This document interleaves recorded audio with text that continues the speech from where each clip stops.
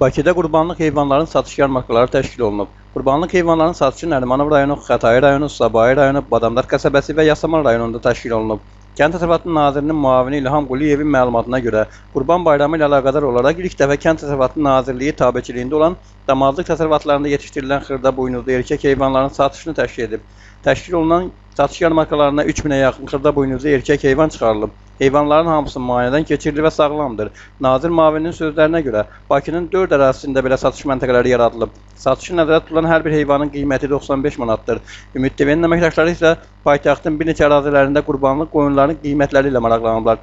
Əfsuslar olsun ki, 95 manat dəyərində qurbanlıq tapmaq mümkün olmayıb. Satışın 120-130 manat dəyərində olduğu müəyyənləşib.